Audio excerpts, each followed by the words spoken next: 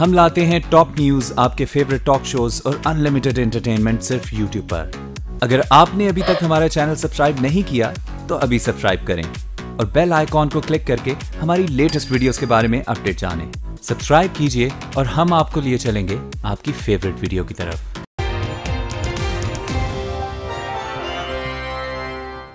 ये सौदा नहीं बिकेगा पाकिस्तान में मैं ये बताना चाहता हूँ ये सौदा नहीं बिकेगा। वज़ीर आज़म को अकामे पे निकाल दिया जाता है और वो शख्स जो तस्लीम कर रहा है एतराफ़ कर रहा है, उसको छोड़ दिया जाता है।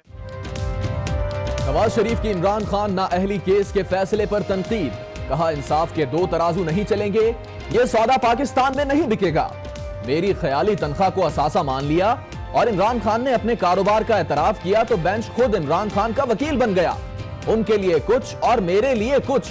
ऐसा इंसाफ अब पाकिस्तान में नहीं चलेगा। मुल्क गिर एहतजाज का ऐलान।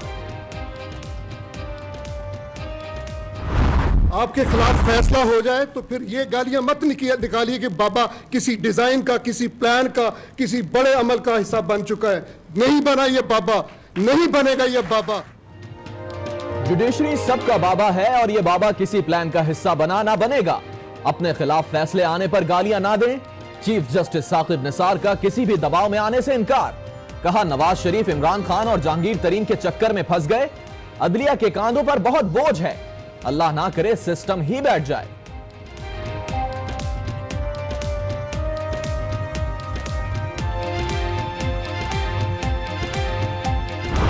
फैसले जब कानून के सामने रखे दिए जाते हैं जब फैसले कानून की बुनियाद पर किए जाते हैं तो फिर ना उनकी की ज़रूरत पड़ती है ना उनकी तस्वीर की ज़रूरत पड़ती है और ना ही इजाफी नोट्स माई लॉर्ड क्या आपका बाबा व्हाट्सएप कॉल्स भी किया करता था? चीफ जस्टिस साकिब निसार की तकरीर के बाद मरियम नवाज़ का सवाल।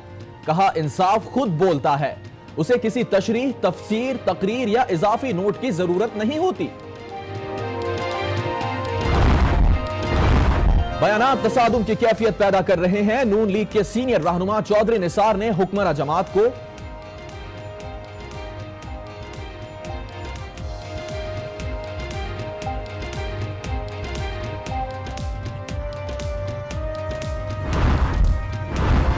जहांगीर तरीन तहरीक इंसाफ के जनरल सेक्रेटरी के अहदे से मुस्ताफी। ना अहली केस में नजरसानी दरखास्त के फैसले तक पार्टी अहदा खाली रहेगा। तहरीक इंसाफ की को कमेटी का फैसला।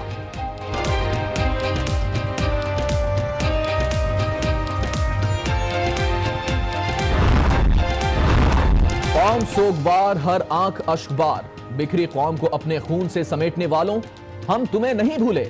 सानह एपीएस की तीसरी बरसी पर खसूसी ट्रांसमिशन के ज़रिए शोहदा को आज न्यूज़ का सलाम।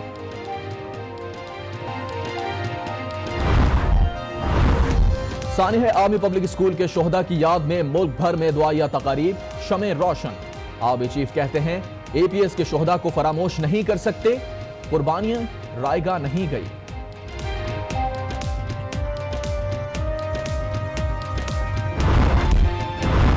भारतीय जासूस कुलभूषण की वालदा और बीवी के वीजों की दरखास्त आ गई, इजाज़त मिल गई तो जल्द खुद भी पाकिस्तान आएँगी। 25 दिसंबर को मुलाकात का इम्कान। पाकिस्तान पहले ही भारतीय जासूस को अहले खाना से मिलवाने की पेशकश कर चुका है।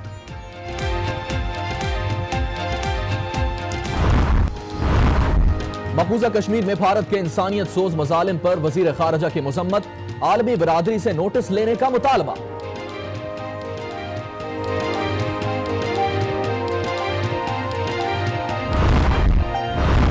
कराची में बहन के हाथों बहन के कत्ल का मामला। अलवीना और उसके मंगेतर ने अदालत में भी अलीना के कत्ल का एतराफ कर लिया। मुलजमा ने वालदा के पाँव पकड़कर माफ़ी मांग। ली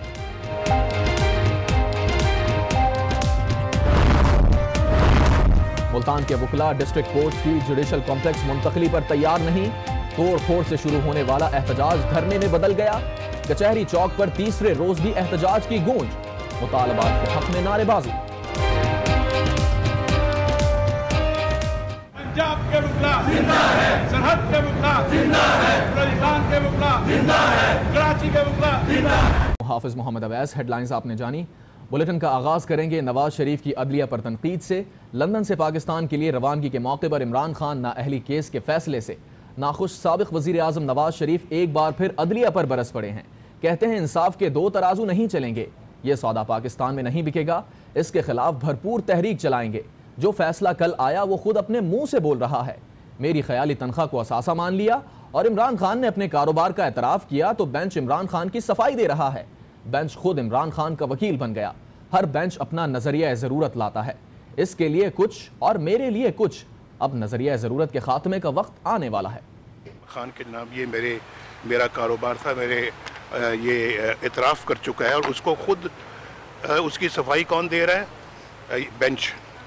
बेंच उसकी सफ़ाई दे रहा है। आ, ये अंदाज़ा कीजिए कि इमरान खान ने मेरे ख़िलाफ़ पटिशन की और वो उसके बाद चार सफ़ों की पटिशन करके घर बैठ गया। वो बेंच जो था बेंच उसके बिहाब पे मुकदमा लड़ा मेरे ख़िलाफ़ और फैसला सुना दिया कामे पे। और जब इमरान खान के ख़िलाफ़ हमने जो पटिशन की है तो बेंच जो है उसी का वकील बन गया वहाँ पर। अंदाज़ा कीजिए अब दोनों में जो फ़र्क है वो अब आप जानने की कोशिश करें। ये सौदा नहीं बिकेगा पाकिस्तान में मैं ये बताना चाहता हूँ ये सौदा नहीं बिकेगा।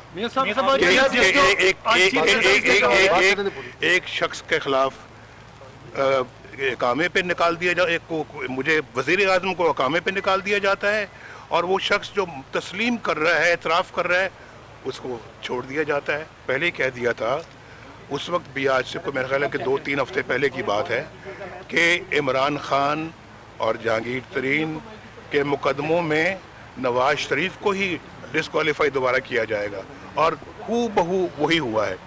ये अपना इस तरह का जो इंसाफ है कि इनके लिए कुछ और मेरे लिए कुछ, ये नहीं चलेगा पाकिस्तान में और हम इसके ख़िलाफ़ भरपूर तहरीक चलाएँगे मुल्क के अंदर। और ये जो नज़रिया ज़रूरत शुरू हुआ है पिछले पचास साठ साल पहले से अब उसका अंजाम इंशाल्लाह उसका अब आने वाला है। अपना जो है वो लेजिटमाइज करें डिक्टेटरों की हुकूमतों को। आप मार्शल लॉ को आप मार्शल लॉ को जो है वो लेजिटमाइज करें। और आप अपना जो है वो ऐसे हुक्मरानों को जो मार्शल डिक्टेटर उनको आप कहें ले जी आयन ये है इसकी ऐसी तैसी फेरें। जो चाहें आप इसमें अमेंडमेंट करें। जो इख्तियार खुद जजों के पास नहीं होता वो किसी डिक्टेटर को कैसे दे सकते हैं? नाजरीन नवाज़ शरीफ के लहजे की तलखी अपनी जगह लेकिन चीफ जस्टिस ऑफ़ पाकिस्तान अदलिया मुखालिफ तबसरों पर बरहम नज़र आ रहे हैं। जस्टिस साकिब निसार ने जुडिशरी को सबका बाबा करार दे दिया। कहा कि बाबा किसी प्लान का हिस्सा है न बनेगा। फैसले जमीर और कानून के मुताबिक होते हैं। फैसला खिलाफ आ जाए तो गालियाँ ना दी जाएँ। जमहूरियत आइन से है आइन नहीं रहेगा तो खुदा न खास्ता ये मुल्क भी नहीं रहेगा। ये जुडिशरी आपका बाबा है। गालियाँ मत निकालिए कि बाबा किसी किसी बड़े अमल का हिस्सा बन चुका है। इस जुडिशरी पे कोई किसी तौर पे कोई दबाव नहीं ऐसा कोई पैदा नहीं हुआ जो अदलिया को डिक्टेट करे। जुडिशरी सबका बाबा है किसी प्लान का हिस्सा नहीं। चीफ जस्टिस ऑफ़ पाकिस्तान का दो टोक पैगाम।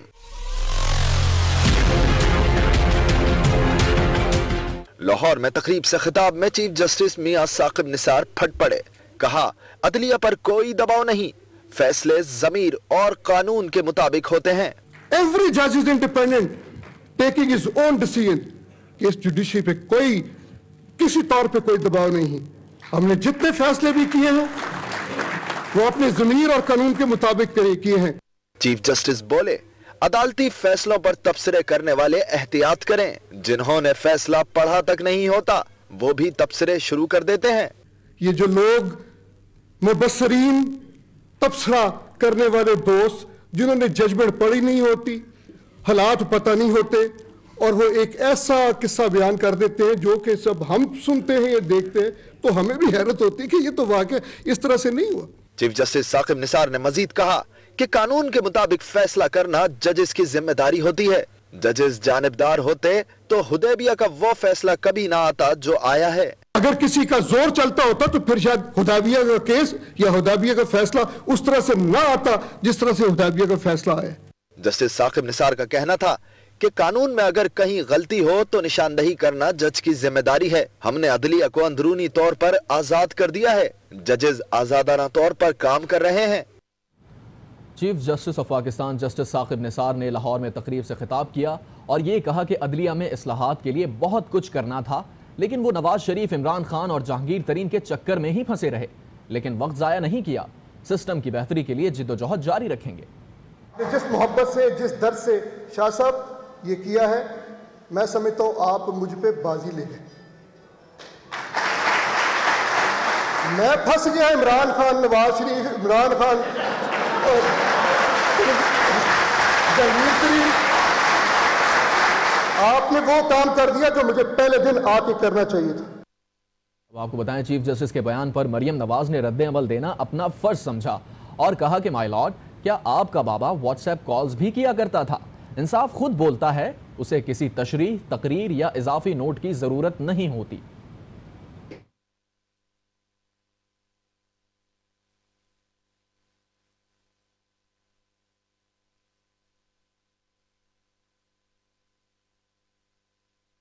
फैसले जो हैं वो कानून के सामने रखे दिए जाते हैं, जब फैसले कानून की बुनियाद पर किए जाते हैं। तो फिर ना उनकी तशरी की ज़रूरत पड़ती है, ना उनकी तस्वीर की ज़रूरत पड़ती है और ना ही इजाफी नोट्स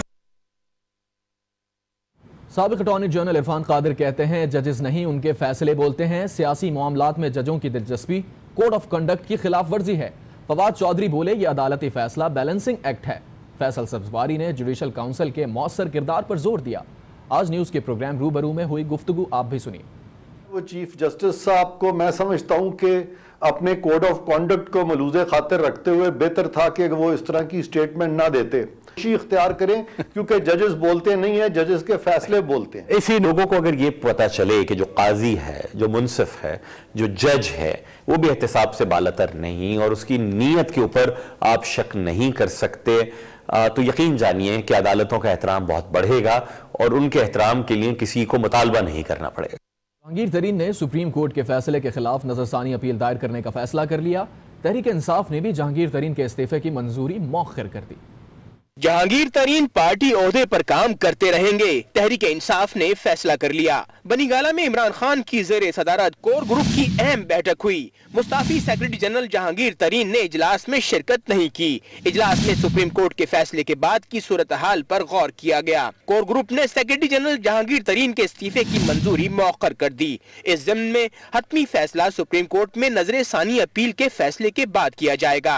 जराये का कहना है की जहांगीर तरीन सुप्रीम कोर्ट के फैसले के खिलाफ नज़र सानी अपील दायर करेंगे, जिसके फैसले की रोशनी में ही उनको पार्टी ओहदे से अलग करने या ना करने का हतमी फैसला किया जाएगा।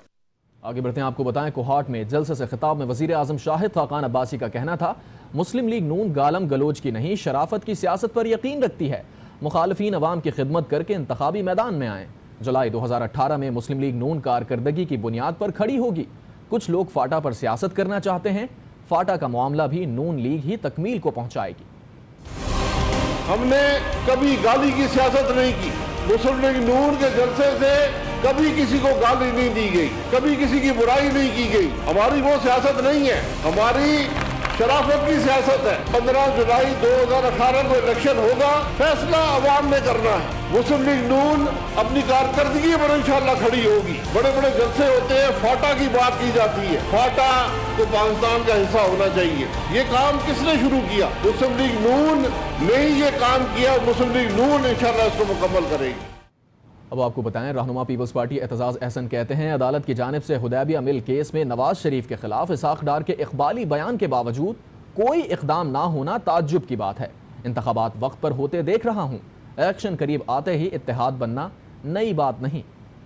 मियाँ नवाज़ शरीफ के समदी और फाइनेंस मिनिस्टर, अब भी वो फाइनेंस मिनिस्टर हैं। उनका इकबाली बयान है, इकतालीस सफ़े का इकबाली बयान है, उसको कहाँ लेके जाएँगे? अगर ये अदालत कहना शुरू कर दे कि आप कोई सुप्रीम कोर्ट के जज का फैसला हमारे आगे पेश ही नहीं, उसका ज़िक्र ही नहीं कर सकते तो इसका मतलब है कि जजों में कोई टेंशन है। और फैसले उस टेंशन की बुनियाद सुप्रीम कोर्ट में कोई अंदर बज़ाहिर तकसीम हो गई हुई है जजेस की। इलेक्शन जब आते हैं करीब तो इतिहाद बनना शुरू हो जाते हैं, ये कोई नई बात नहीं है। आइंदा होने वाले इलेक्शन में भी कुछ नए इतिहाद होए तो उससे किसी को अचंबा नहीं होना चाहिए।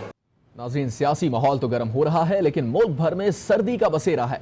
पहाड़ों पर बर्फबारी के बाद ठंड खून जमा रही है। मजीद अहवाल जानिए इस रिपोर्ट में।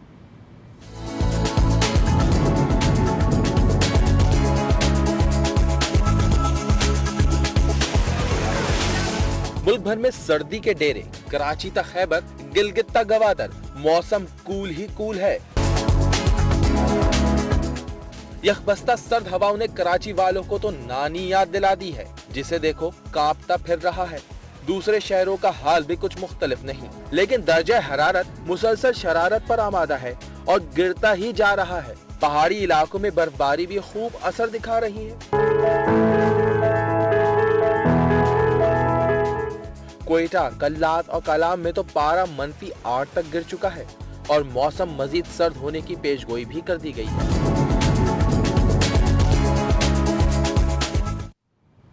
और अब ज़िक्र अनोखे सीएनजी स्टेशन का। लाहौर में एफआईए और सुई नॉर्दर्न गैस पाइपलाइन कंपनी ने मुश्तरका कार्रवाई करके घर में चलने वाला सीएनजी स्टेशन सील कर दिया।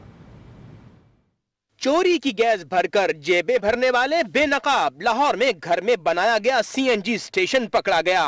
न लंबी कतार और न घंटों इंतज़ार। गुलशन रावी में मुलजिमान ने गैस की मेन पाइपलाइन से गैस चुराई और किराए के मकान को सीएनजी स्टेशन में बदल दिया।